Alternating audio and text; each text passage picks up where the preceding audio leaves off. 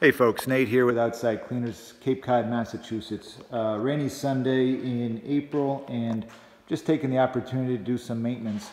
Wanted to also take the opportunity to share something that's been on my mind, uh, kind of bugging me. I see a lot on um, YouTube and the power washing forums, guys showing their rigs, and uh, one thing that bugs me is I think a lot of them are installing the banjo filter the wrong way.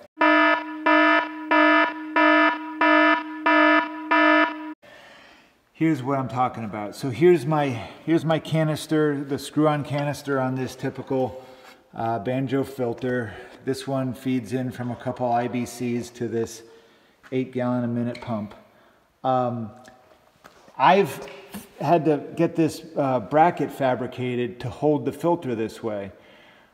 I understand why guys typically put this in with the canister screwing in from the top because that's the easy way to mount it.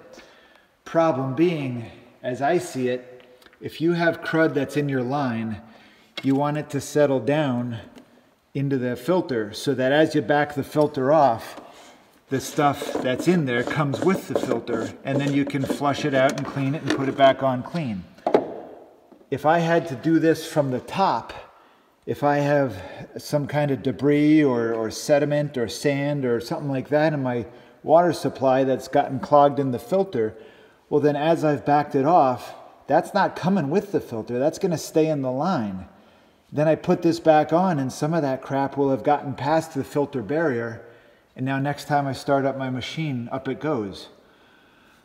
So, like I said, I'm surprised that these brackets aren't commercially available. And I understand why guys, you know, kind of take the easy way and just hose clamp these things down in any which way.